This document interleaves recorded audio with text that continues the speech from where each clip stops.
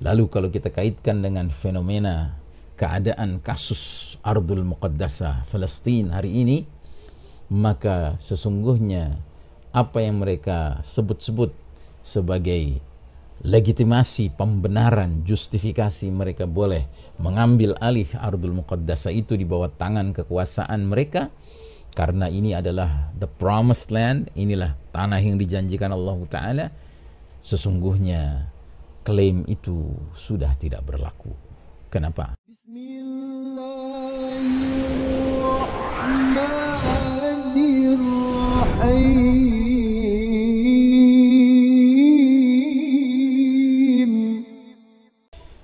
Hari ini kajian kita mengenai alamatul kubra nuzul Isa ibnu Maryam alaihissalam tanda besar kiamat turunnya Isa putra Maryam alaihissalam kita selipkan sebuah bahasan khusus yaitu catatan khusus tentang konflik Palestina modern ya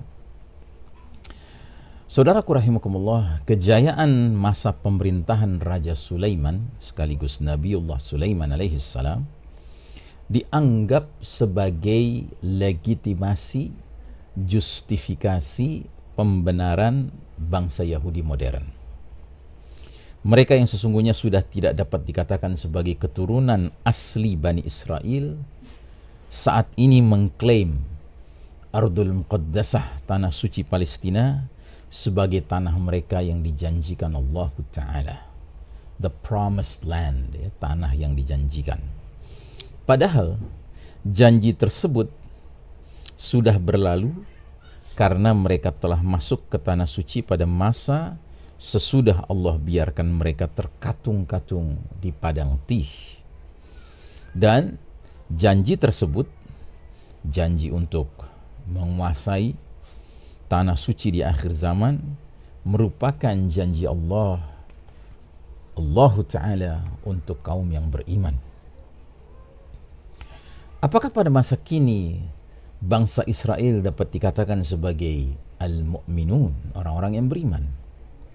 Mereka mengklaim berdasarkan janji lama yang sudah tidak berlaku lagi. Bahkan meskipun Allah Ta'ala telah berjanji kepada Bani Israel dalam kitab Musa, maka sudah pasti janji itu tidak berlaku lagi dengan beberapa alasan. Pertama, mereka sudah pernah masuk ke sana pada masa setelah kutukan 40 tahun berputar-putar di padang tih dengan berbagai catatan pembangkangan yang dapat kita baca di dalam kitabullah Al-Quranul Karim.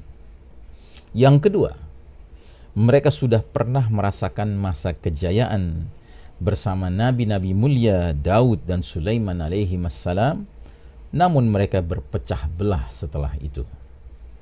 Lalu yang ketiga, dengan kedatangan Nabiullah terakhir Nabi Muhammad sallallahu alaihi wasallam dan dengan turunnya diwahyukannya kitab terakhir Al-Qur'anul Karim yang disempurnakan maka masa berlakunya kitab-kitab Allah terdahulu Taurat, Zabur, bahkan Injil sudah berakhir. Ya. Apa pun yang sejatinya memang dari Allah Ta'ala di dalam kitab-kitab tersebut sudah dihapus, dinasih dan digantikan oleh isi Al-Quranul Karim bagi seluruh manusia yang hidup fi akhir zaman, di akhir zaman. Lalu yang keempat, menurut banyak catatan dan bukti serta menurut kitabullah Al-Quranul Karim kitab-kitab terdahulu itu sudah dipalsukan isinya, sudah diubah-ubah sepanjang sejarah mereka. Sehingga sudah pasti batallah tuntutan apapun yang didasarkan dari selain kitabullah Al-Quranul Karim. Allah Ta'ala berfirman dalam suratul Ma'idah ayat ke-13, فَبِمَا نَقْضِهِمْ مِيثَاقَهُمْ لَعَنَّاهُمْ وَجَعَلْنَا قُلُوبَهُمْ قَاسِيَةً yuharrifuna al-kalima amma wadi'ih.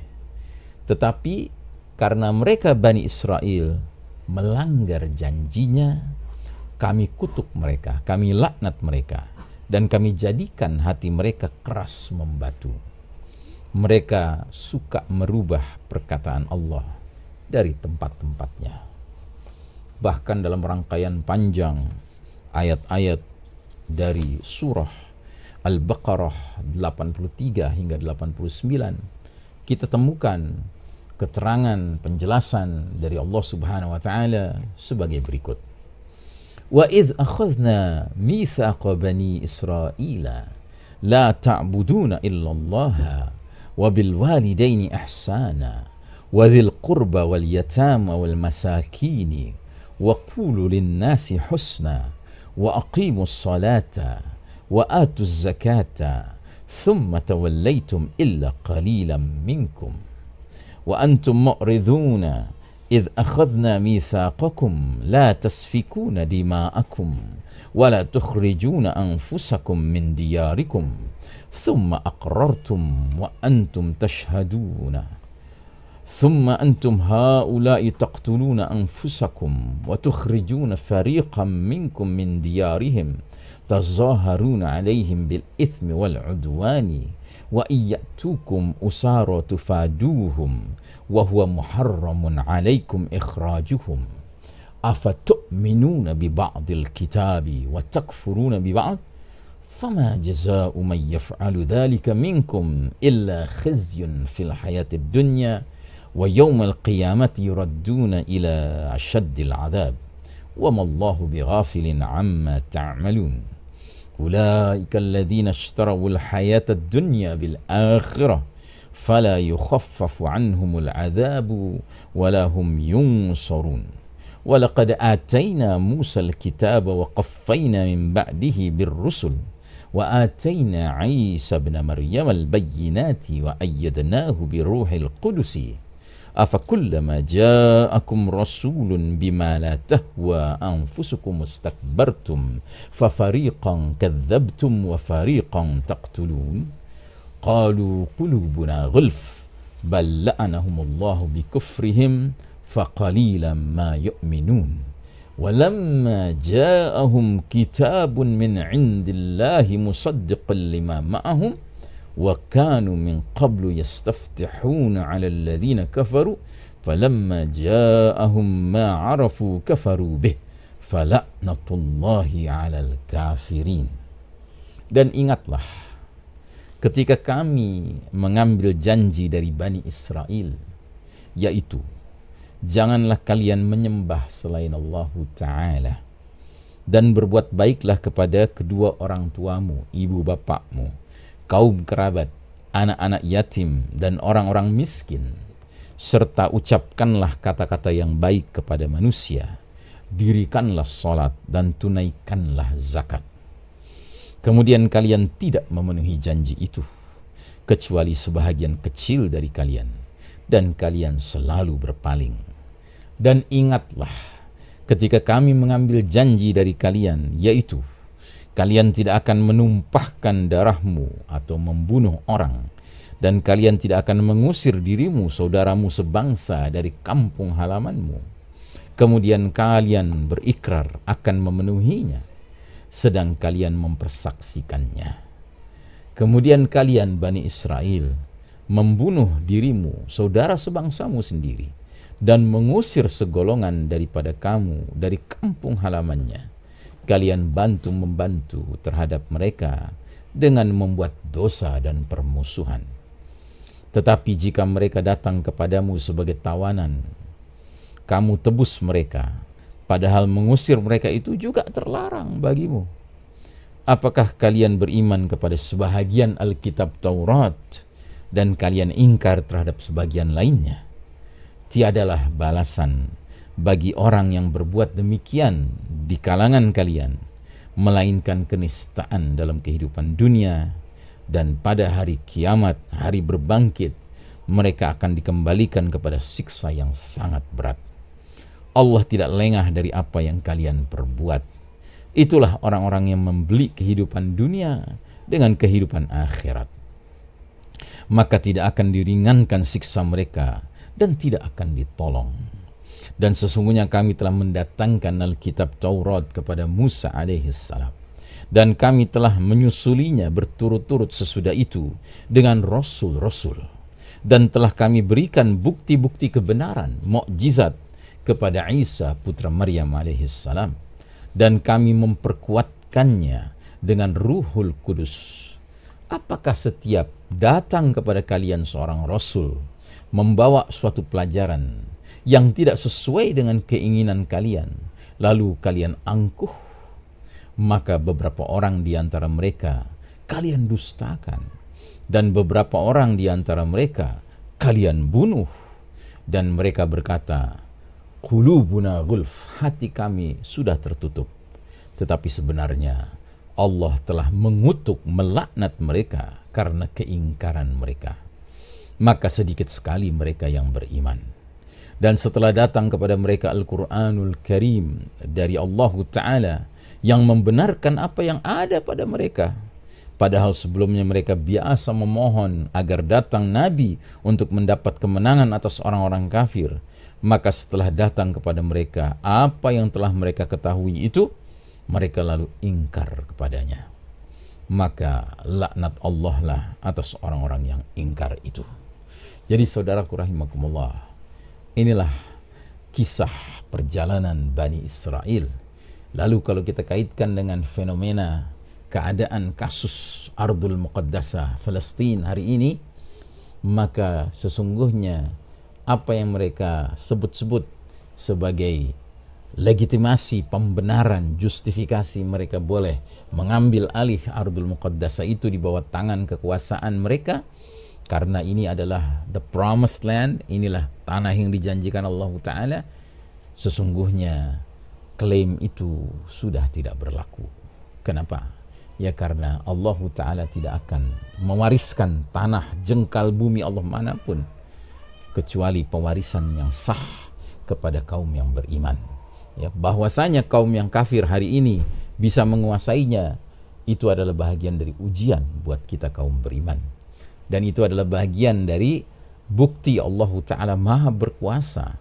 Sekalipun Allah Ta'ala tidak meridai sesuatu terjadi, tapi bisa saja Allah mengizinkan dia terjadi. Ya.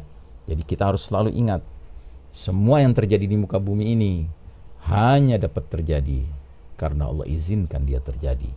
Tapi tidak semua yang Allah izinkan terjadi pasti serta merta Allah ridai.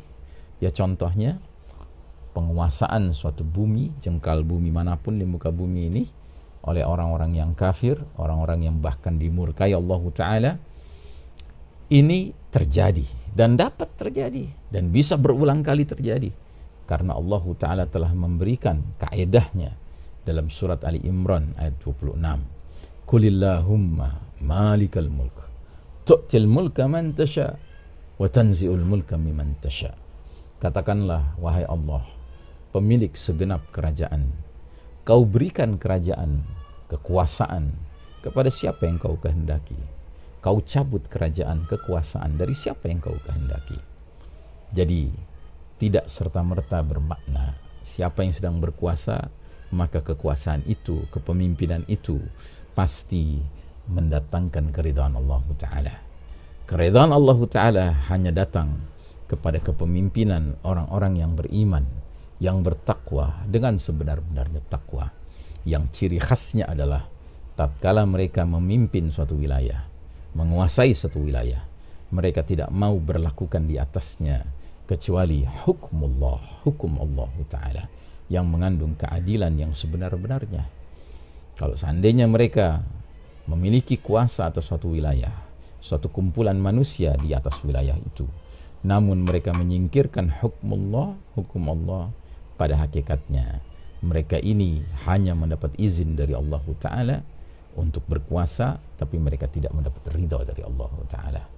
Nah karenanya kembali kepada kasus Palestina hari ini sesungguhnya kaum Yahudi yang mengklaim mereka berhak atas wilayah itu ini klaim yang di mata Allah Ta'ala sudah tidak berlaku. Ya karenanya saudaraku rahimakumullah marilah kita menjaga keistiqamahan kita dalam iman dan takwa sehingga kalaupun Allah Ta'ala izinkan suatu hari orang-orang beriman sebenar-benarnya iman orang-orang bertakwa sebenar-benarnya bertakwa ya menguasai Ardul Muqaddasah bumi suci Palestina dan Syam dan sekitarnya maka itulah penguasaan kepemimpinan yang bukan saja diizinkan Allah Ta'ala tapi juga mendapatkan ridha dan rahmat dari Allah Ta'ala. Semoga وصلى الله على نبينا محمد وعلى آله وأصحابه أجمعين. والسلام عليكم ورحمة الله وبركاته. يا صل وسلم دائما أبدا.